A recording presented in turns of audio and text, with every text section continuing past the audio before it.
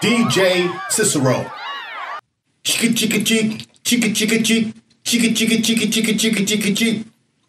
That's just an example of what you can expect tonight at the DJ Cicero party. Come on down to Cicero, Illinois. It's gonna be a hot jam with DJ Cicero, the greatest DJ in Cicero, Illinois, only 30 minutes away from Chicago.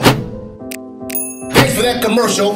And now, I'm here again filling in for Dazzling Cool Cat Jones. Today, we're gonna take a look at uh, George Carlin, one of the greatest. And religion is bullshit. Are you ready, Warren? Good thing. Good stuff. Let's get it popping, as they say on the streets. And play. But in the bullshit department, in the bullshit department, a businessman can't hold a candle to a clergyman. Oh, I gotta tell you the clergyman. truth, folks. I gotta tell you the truth. When it comes to bullshit, Yeah. big time, major league bullshit. Major league you have to bullshit. stand in awe. In awe of the all-time champion of false promises and exaggerated claims, religion. Oh, No religion. contest. George Carlin, as they say, is going in. Religion. Religion easily has the greatest bullshit story ever told. What's that? Think about it. Religion has actually convinced people Uh huh. that there's an invisible man living in the sky who watches everything you do every minute of every day. And the invisible man has a special list of 10 things he does not want you to do. Don't do it. And if you do any of these 10 things, he has a special place full of fire and smoke and burning and torture and anguish where he will send you to live and suffer and burn and choke and scream and cry forever and ever till the end of time. But he loves you. Ah ha ha ha. Comedy. Nice build up and then the punchline, right? You get it, Warren. Me and you are on the same page. George Carlin, he was amazing. He loves you and he needs money. he always needs money. He's all powerful, all perfect, all knowing, and all wise. Somehow, just can't handle money. Just can't handle money. What can you say about that? in billions of dollars. They pay no taxes, and they always need a little more. Now, you talk about a good bullshit story. Holy shit. Ha ha ha ha! I always love how people play on words, telling a good story. That's all part of being a good communicator. Am I right? Yes, I am. Thank you very much.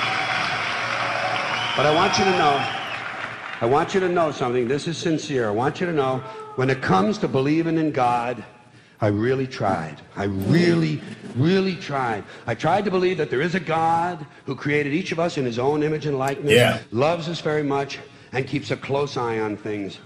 I really tried to believe that, but I gotta tell you, the longer you live, the more you look around, the more you realize something is fucked up. Something is Something fucked up. is It's all here. fucked up. War, disease, death, destruction, hunger, filth, poverty, torture, crime, corruption, and the ice capades. Something is definitely wrong. I love the This is not Ice-Capades. I went to the. Ice-Capades when I was is the best six. God can do, Disney on Ice. impressed. It was fun, Results fun, like these do not fun. belong on the resume of a supreme being. This is the kind of shit you'd expect from an office temp with a bad attitude. Ah, And just between you and me, in between you and me, in any decently run universe, this guy would have been out on his all-powerful ass a long time ago. By the way, I say this guy because I firmly believe, looking at these results, that if there is a God, it has to be a man. No woman could or would ever fuck things up like this. I don't know, George. I think there are plenty of women who will fuck some shit up. Just like there's plenty of men. If- People fuck If shit there up. is a God, if there is, I think most reasonable people might agree that he's at least incompetent and maybe, just maybe, doesn't give a shit. Ha. Doesn't give a shit. Nah. Which I admire in a person and which would explain a lot of these bad results. So rather than be just another mindless religious robot, mindlessly and, and, aimlessly and blindly believing that all of this is in the hands of some spooky, incompetent father figure who doesn't give a shit, yes. I decided to look around for something else to worship, something I could really count on. And immediately I thought of the sun. Oh, After worship the sun. Overnight, it's I out right now today in in in uh, where am I again? Can't see the sun at night. Cicero, Illinois. First thing the next morning. I became a sun worshiper. Several reasons. First of all, I can see the sun. Okay? yeah. Unlike some other gods I could mention, I can actually see the sun. Seeing is believing. That's what I say. I don't know. Kind of helps the credibility along, you know? So every day I can see the sun as it gives me everything I need heat, light, food, flowers in the park, reflections on the lake an occasional skin cancer, but hey, at least there are no crucifixions, and we're not setting people on fire simply because they don't agree with us. Ah. Sun worship is fairly simple. There's no mystery, no miracles, no pageantry. No one asks for money. There are no songs to learn. And we don't have a special building where we all gather once a week to compare clothing. this is true. Comparing clothing is something people do all the time. Never By the way, do you like this shirt? Doesn't tell me I'm a bad person who needs to be saved. Hadn't said an unkind word. Treats me fine. So I worship the sun. But I don't pray to the sun. Know why? I wouldn't presume on our friendship. Ah, that's thinking, George. That's thinking. People treat God rather rudely, don't you? Asking uh, trillions and trillions of prayers every day, asking and pleading and begging for favors. Do this, give me that. I need a new car. I want a better job.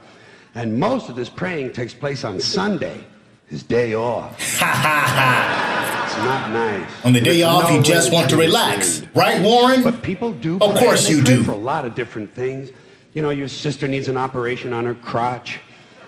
Your, your brother was arrested for defecating in a mall. Uh. But most of all, you'd really like to fuck that hot little redhead down at the convenience store. You know, the one with the eye patch and the club foot, huh? Can you pray for that? Hmm. I think you'd have to. And I say, fine, pray for anything you want. Yeah, pray fine. For pray for whatever you want. What about the divine plan? Remember that? The divine plan. Long time ago, God made a divine plan, gave it a lot of thought, decided it was a good plan, put it into practice. And for billions and billions of years, the divine plan has been doing just fine. Now you come along and pray for something. Well, suppose the thing you want isn't in God's divine plan. What do you want him to do? Change his plan? Hmm. Just for you? Just for you, yes. Arrogant? It's a divine plan. What's the use of being God if every rundown schmuck with a $2 prayer book can come along and fuck up your plan? and here's something else, another problem you might have. Suppose your prayers aren't answered. What do you say? Well, it's God's will. Thy will be done. Fine. But if it's God's will and he's going to do what he wants to anyway, why the fuck bother praying in the first place? Uh, George is deep. Deep, deep, deep, deep, deep, deep, gets you thinking. part and go right to his will. It's all very confusing. So to get around a lot of this, I decided to worship the sun. But as I said, I don't pray to the sun. You know who I pray to? Joe Pesci. Ah, Pesci. Joe Pesci. Joe Pesci. He's a classic. Two reasons. First of all, I think he's a good actor, okay? He's a damn good actor.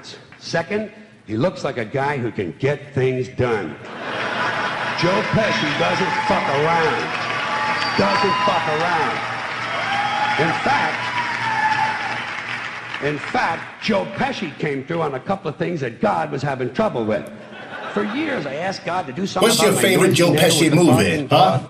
Joe Pesci. I say Goodfellas. Out with one visit. It's amazing what you can accomplish with a simple baseball bat. Oh no! Tell me it's not so, so George. For about a year now, and I noticed something. I noticed that all the prayers I used to offer to God and all the prayers I now offer to Joe Pesci are being answered at about the same 50% rate. 50-50. Life is all about half and half. Same as God, 50-50. Same as the four-leaf clover and the horseshoe, the wishing well and the rabbit's foot. Same as the mojo man. Same as the voodoo lady who tells you your fortune by squeezing the goat's testicles. It's all the same 50 50. So just pick your superstition, sit back, make a wish, and enjoy yourself. And for those of you who look to the Bible for moral uh, lessons and literary qualities, I might suggest a couple of other stories for you. Uh, you might want to look at The Three Little Pigs. That's a good one. Has a nice, happy ending. I'm sure you'll like that. Then there's Little Red Riding Hood, although it does have that X-rated part where the big bad wolf actually eats the grandmother. Little Red Riding Hood scared the hell out of me as a finally, kid. I've often always drawn a great deal of moral comfort from Humpty Dumpty. The part I like the best, all the king's horses and all the king's men couldn't put Humpty Dumpty back together again. That's because there is no Humpty Dumpty and there is no God. None, not one, no God, never was. In fact, I'm going to I'm going to put it this way. If there is a God, if there is a God, may he strike this audience dead. Ah, ha ha! nice play on words. You think he was going to say himself, but he said the audience. You get it? Ha! Clever. Very clever. I'll raise the stakes. I'll raise the stakes a little bit. If there is a God, may he strike me dead. See? Nothing happened. Oh, wait. Got a little cramp in my leg. And my balls hurt. Plus, I'm blind. I'm blind. Oh, now I'm okay again. Must have been Joe Pesci, huh? God bless Joe Pesci. Thank you all very much. Joe bless you. Thank you very much. I appreciate it. Oh, that was good. George, George Carlin. Religion is bullshit. I gotta love it. He was one of our greatest comedians. I loved him to death. Well, until next time, my friends, DJ Cicero saying peace and love. And as always, as my good friend Dazzling Cool Cat Jones always says, Dream big, dare to be great. Pieces.